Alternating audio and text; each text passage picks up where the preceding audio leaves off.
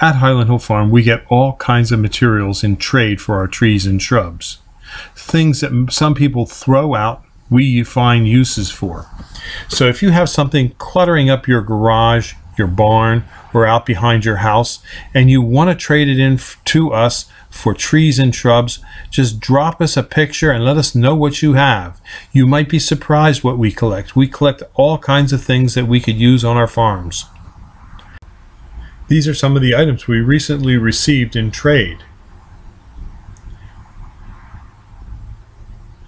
Lumber,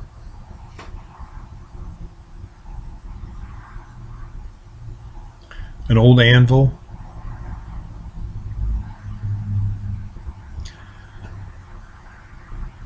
well piping,